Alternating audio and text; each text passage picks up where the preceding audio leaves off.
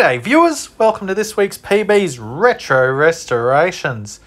This week I'm doing this Matchbox Superfast Ruff Trek, which of course is just the Holden Ute slash pickup that I've done before. This is one of the later iterations of it, uh, when Matchbox in their infinite wisdom decided they could get a little bit more mileage out of the casting. So I have to apologise for the quality of the voiceover, not the content, just the audio audio quality. Uh, the jack on my phone's broken. I can't plug my microphone into it, so you're going to have to suffer this lower quality, and I'm apologise for that. So let's get crack a lacking, as they say in somewhere, and see if we can't turn this one around.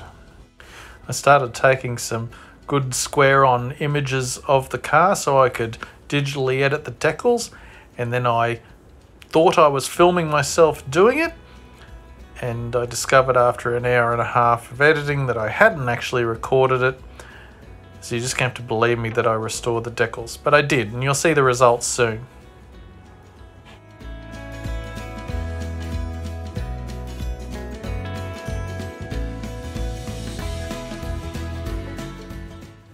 So after I get it all pulled apart, I can strip the paint like this, ta-da! And then I use my little hook to get all those little tiny bits that get stuck in all those hard to reach places. This is my brass brush. And I polished it up with the 3M wheels and gave a little bit more of a brush. Everything's looking ready for paint.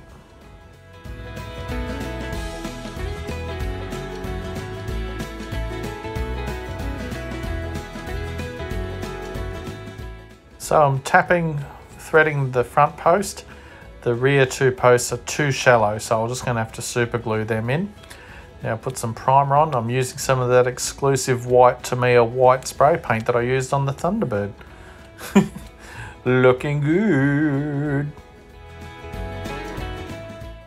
Now I'm using some of the black Tamiya black paint. It's nice and glossy. And have a look at this. You can go swimming in that. Ooh.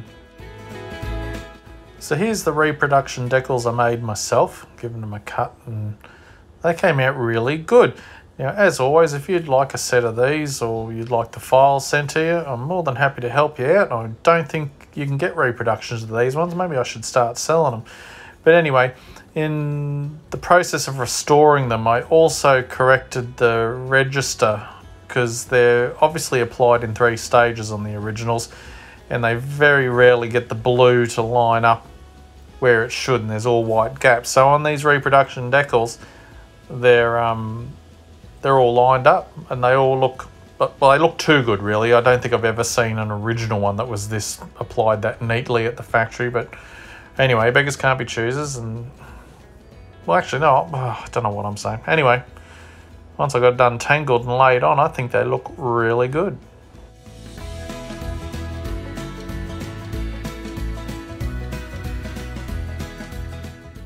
So here I'm using the finest Underwood tap water, warmed up to a reasonable heat so I can scrub all the interior parts clean. Shh, shh, shh, shh, You're welcome. I usually use a semi-gloss black on the wheels, but I used a full gloss black, and then I'm using a 1mm Molotow pen to do the finer details on the wheels. So I tried making my own replacement bull bar, tried making one out of styrene, I tried using a bent paper clip and it looked crap every time. So I stole the spotlights off this Escort and I stole KC at Metal Mania 3D's idea of replacing the bull bar with spotlights. I don't know if these are the ones he uses, but anyway, they're the ones I've used. Um, you 3D printer guys, if you could make just a reproduction of the bull bar and the roll cage, my roll roll bar was okay, but um, the bull bar on the front, oh, you'd sell a million of them. Um, maybe someone already does it and I don't know. If you know someone who is making them, let me know. Same with the little bikes for the back. I've seen repros, I've bought repros, but I saw somebody had some 3D printed ones. I just don't know where they come from. Anyway.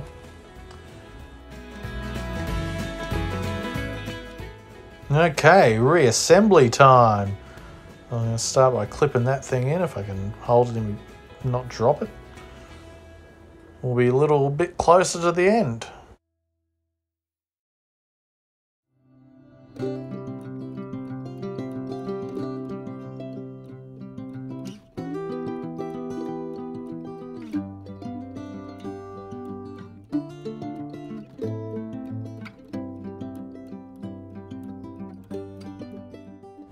So a bit of super glue on the back to hold it together and I did clamp it for a little bit after this and then I'll just screw the front one in.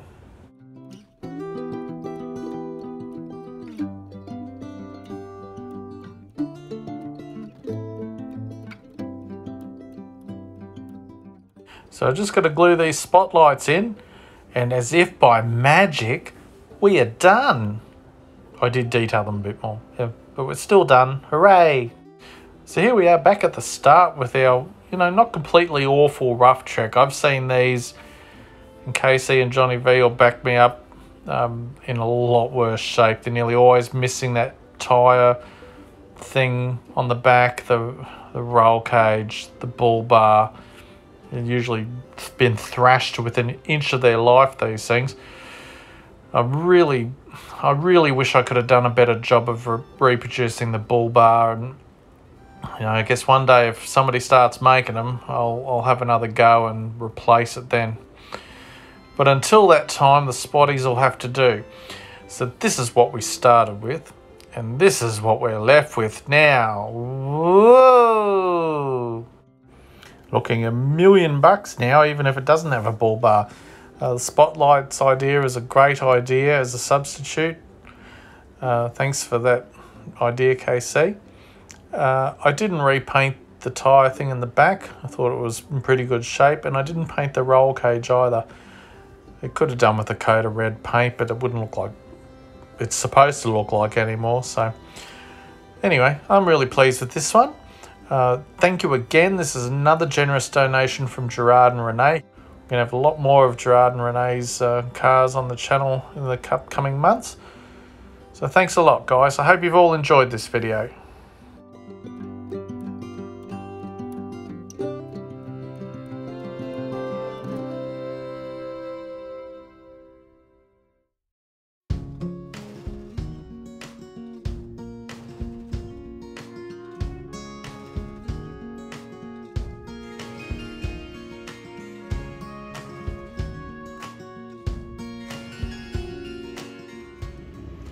So this is a bit of a postscript to this restoration. You may or may not recall the last um, donations to the channel video I did uh, when Renee provided me this one, but she also had a dig in the bucket and by chance brought this guy in, the Chevy Pro Stocker.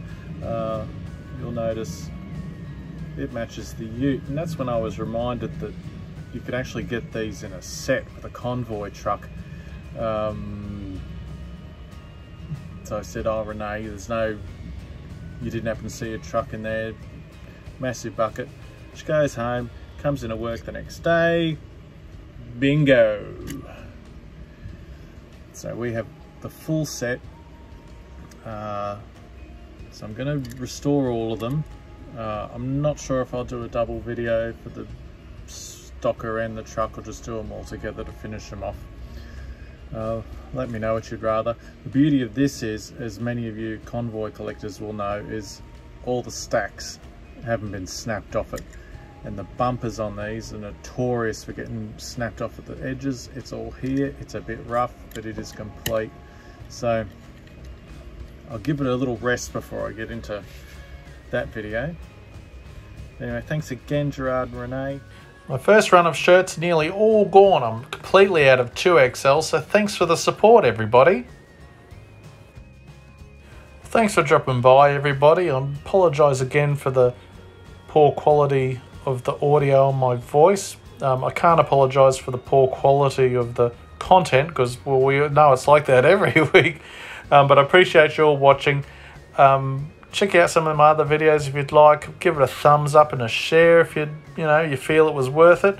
And if you really liked it, would like to come back and see some more, why not subscribe? I have a new video every Friday at 9.15. I'd love to see you back. Stay safe, take care of yourselves. and each other. This is PB signing off. I'll see you next week, everybody. Bye.